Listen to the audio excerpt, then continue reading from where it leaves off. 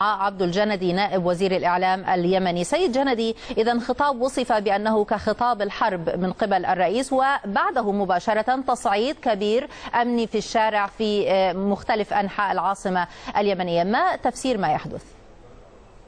اولا خطاب الرئيس كان طبيعيا جدا يشرح أوضاع موجودة في الواقع ويوضح بأن الإخوان المسلمين الآن اخرجوها من اعتصامات سلمية إلى مواجهات عنيفة. وبالتالي معهم الفرقة الأولى مدرع هذه فعلا تحولت إلى سكنة عسكرية تقتل باسم الثوار وتقحم المسيرات في أحداث عنف ومواجهات صداميه يعني لم تعد فعلا المسيرات مسيره كما كانت والدليل الصريح على هذا بأن أنتم في الجزيرة تقول بانه في احتجاجات واعتصامات في 17 محافظة. لماذا هذه المحافظات لا يحصل فيها دماء؟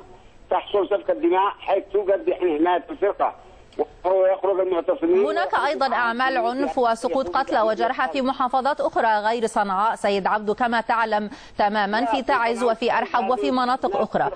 طيب يعني أنت يعني فسر لنا هذا القصف الذي طال حي السلطان وساحة التغيير والحصبة ومقر الفرقة الأولى مدرعة من الذي يقوم بهذا القصف اذا؟ هذه حرب تستخدم فيها كل أنواع الأسلحة هذا انشقاق عسكري وأيضا قبلي. يعني يحملون كل أنواع السلاح. عندهم دبابات عندهم صواريخ عندهم آه مدفعية ثقيلة عندهم آه اسلحه مختلفة. هؤلاء فعلا يقوموا بحرب على الدولة والدولة فعلا مضطرة إنها تدافع عن مصالح الناس وعن آه الأمن والاستقرار لأن واجب الدولة في أي بلاد إنها تدافع يعني. لكن الاحتجاجات من هؤلاء؟ حدد. من الذين من الذين يشنون حربا على النظام اليمني؟ يشنون حربا لانهم يريدوا أن يتموا الانقلاب العسكري الذي بدأوه ولم ينجح. ولكن من؟ من هي الأطراف التي تشن الحرب؟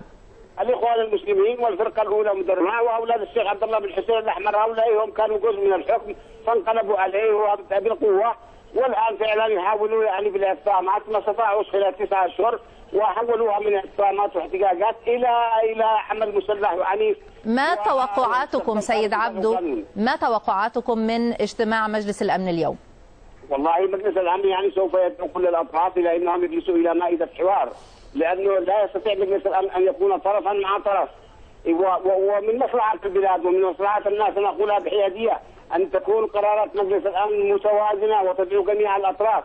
إذا كانوا قد أنجزوا 80% من الاتفاق بقي معهم 20% يجب أن يجلسوا إلى مائدة حوار يعني تفاوض ويحلوا المشكلة واليمن دولة ديمقراطية لها 20 سنة وبامكانها تجري انتخابات في أي وقت إذا اقتنعت المعارضة بأنها تدخل الانتخابات، لكن إذا كانت مصممة على الانقلاب العسكري لن نترك لها فعلا يعني إنها تنفذ أخطاطها مخططها بالاستيلاء على السلطة بالقوة حتى ولو ولو ولو, ولو كانت قرارات الأمن بصالحها. شكرا. فعلا نحن ندافع عن الناس، ندافع عن الأغلبية المطلقة التي أدلت بها أصواتها بانتخابات حرة ونزيهة واشراف الاتحاد الأوروبي وأمريكا للرئيس علي عبد الله صالح. شكرا لعبد الجندي نائب وزير الإعلام اليمني كان معنا من صنعاء.